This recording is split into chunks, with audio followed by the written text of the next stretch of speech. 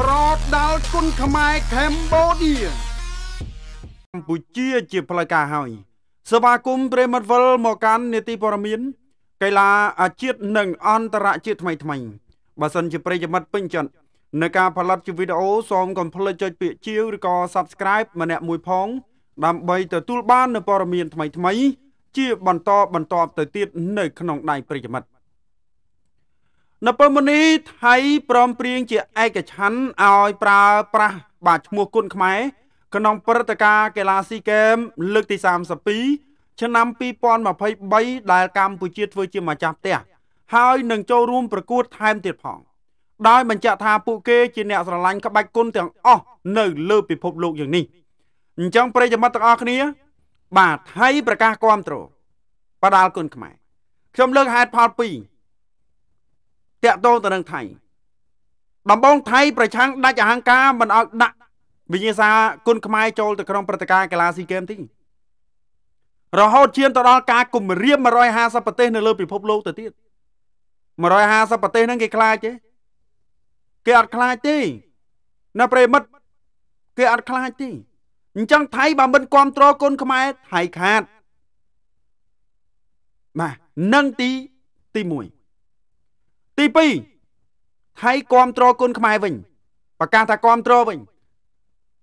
ថៃចំណេញនៅប្រិមត្តណាបាទថៃចំណេញប្រឆាំងជាមួយ150ប្រទេសប្រឆាំងជាមួយនឹងប្រទេសចំនួន8 9នៃគ្រប់គ្រងខ្មែរនេះនៅក្នុងតំបន់អាស៊ីអាគ្នេយ៍នេះណាថៃបាក់មុខខ្លាំងអញ្ចឹងថៃត្រូវតែគ្រប់គ្រងបាទបើគេគ្រប់គ្រងអស់ហើយអត់គ្រប់គ្រងតែឯងមិនកើតមិនអញ្ចឹង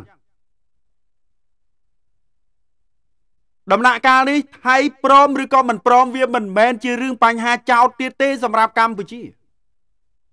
ដោយសារតែកម្ពុជាទទួលបានសម្លេងគ្រប់គ្រងនៅក្នុងបាទប្រទេសចំនួន11ដែលនៅក្នុង SEA Games នេះបាទ11ប្រទេសចូលរួមនេះកម្ពុជាមាន7 8ប្រទេសទៅហើយដែលគ្រប់គ្រងអញ្ចឹងកម្ពុជាអត់មានបញ្ហាអីដែលឈឺក្បាលហាលថ្ងៃជាមួយនឹងប្រទេសថៃទេអ្នកឯងចូលរួមក៏ចូលរួមអ្នកឯងមិនចូលរួមក៏អត់ ហើយសូមបញ្ជាក់មួយទៀតថាវិញ្ញាសាមួយថៃនៅដដែលតែយើងមិនបានលុបមួយថៃទេតែយើងបញ្ចូលគុណខ្មែរទៅមួយជាន់ទៀតបាទណាយើងបញ្ចូលគុណខ្មែររបស់យើងទៅក្នុងវិញ្ញាសាបដាល់ស៊ីហ្គេមហើយឥឡូវនេះសហព័ន្ធកីឡាបដាល់គុណខ្មែរអន្តរជាតិមានប្រទេសគ្រប់គ្រង29ប្រទេសហើយនៅលើពិភពលោកបាទ29ប្រទេសហើយកម្ពុជានឹងព្យាយាមបាញ់ជ្រាបទៅបន្តទៀត ណាណាប្រិមត្តបាទដូចយូដូតៃខ្វាន់ដូគេណាបាទស្តៀងស្តៀងគ្នាអញ្ចឹងយើងក៏ដូចគ្នាយើងក៏ធ្វើអញ្ចឹងអ្នកឯង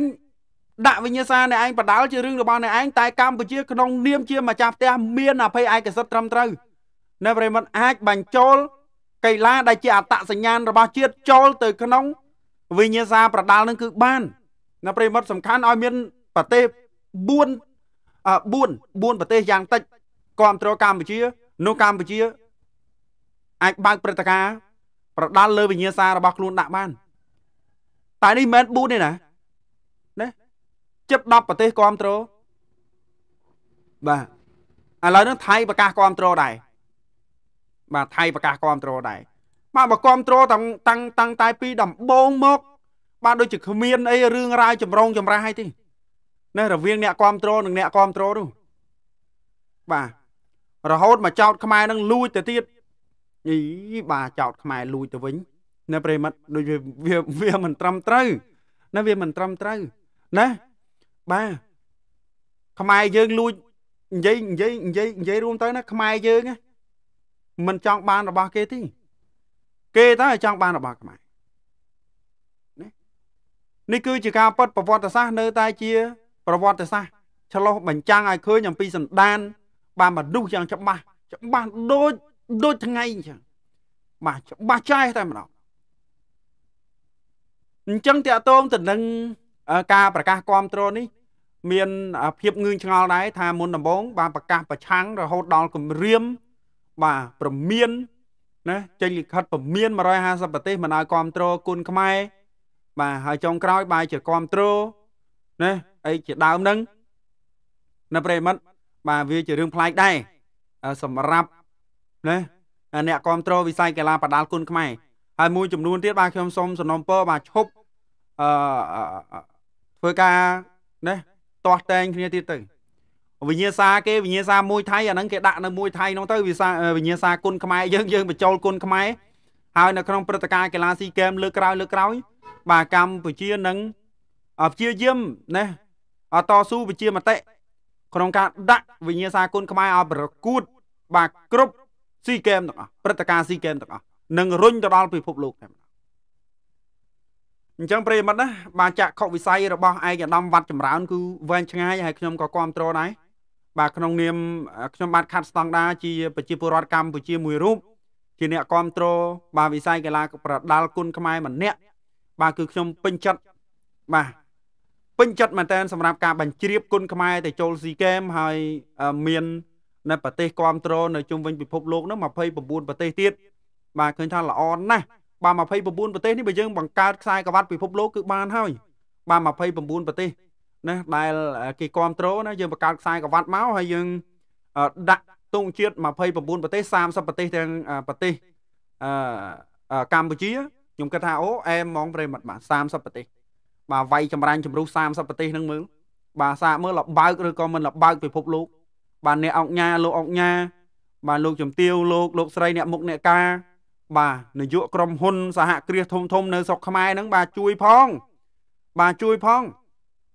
ណែកុំទាល់តែល្បីបានជួយនៅប្រិមត្តណាបាទបើយើងមិនជួយវិស័យកីឡាបដាល់យើងទេមិនជួយវិស័យកីឡានៅកម្ពុជាទេ បាទខ្ញុំគិតថាពិបាកនៅក្នុងការទៅមុខណា យើងមានសមត្ថភាពតែខ្វះធនធានក៏មិនអាចទៅមុខបានដែរនៅប្រិមត្តណាសំខាន់បំផុតគឺធនធាន បាទធនធាននិងសមត្ថភាព គឺมันអាចខ្វះមួយណាបានទេបាទណាអញ្ចឹងកីឡាករក៏ដូចគ្នា បាទកុំឲ្យគេមើលងាយទាល់តែប្រឹងណាមានការផុសមើលងាយកីឡាករខ្មែរខ្លាំងណាស់មួយរយៈពេលចុងក្រោយនេះអញ្ចឹងគួរតែគិតគូរពីបញ្ហាហ្នឹងឈប់ឈប់ទៅអារឿងត្រាម៉ាលើ Facebook បាទ អារឿងអីហ្នឹងបាទដើរលេងច្រើននេះហ្នឹងបើតាំងចិត្តដាក់កាយថាចូលហាត់បដាល់បាទសូមប្រឹងប្រែងឡើងនេះកុំឲ្យប្រទេសក្បែរខាងគេមើលងាយយើង ថាសមត្ថភាពយើងនឹងអន់បាទអីជាដើមហ្នឹងណាប្រិយមិត្តណាខ្ញុំសង្ឃឹមថាបងប្អូននឹងយល់បាទពិសេសគឺកីឡាករបាទនឹងយល់ឲ្យលោកគ្រូអ្នកគ្រូផ្នែកប្រដាល់ហ្នឹងបាទសង្ឃឹមថានឹងពង្រឹងសមត្ថភាព បាទសិស្សអានុសិស្សបាទដែលកំពុងតែហ្វឹកហាត់ នៅក្នុងក្លឹបហ្នឹងបាទសិស្សណាសិស្សនៅក្នុងសាលាគុណហ្នឹងហើយបើតាមព័ត៌មានដែលខ្ញុំទទួលបានមួយទៀតបាទដូចជាគុណរបស់កតោនឹងដាក់ចូលក្នុងកម្មវិធីសិក្សាហើយនៅប្រិមត្តណាបាទនៅក្នុងពេលខាងមុខហ្នឹងបាទដាក់គុណរបស់កតោរបស់កម្ពុជាចូលកម្មវិធីសិក្សា បាទមួយសប្តាហ៍ហាត់ប្រហែលម៉ោងប្រហែលម៉ោងអីចឹងទៅ បាទគឺមាននៅប្រិមត្តណាតាំងពីមូលដ្ឋានគ្រឹះរហូតទៅដល់បាទថ្នាក់ទី12 នៅប្រិមត្តណាអញ្ចឹងយើងទៅទៀតគឺបាទក្បាច់គុណយើងមិនបាត់បង់ទៀតនោះទីបាទអញ្ចឹងកូនខ្មែររូបណាក៏អាចនឹងចេះដែរបាទក្បាច់គុណទៅថ្ងៃខាងមុខអញ្ចឹងបងប្អូនតាក់ទងទៅនឹងព័ត៌មាននេះក៏មានតែប៉ុណ្្នឹងដែរជាចុងក្រោយសូមជម្រាបលា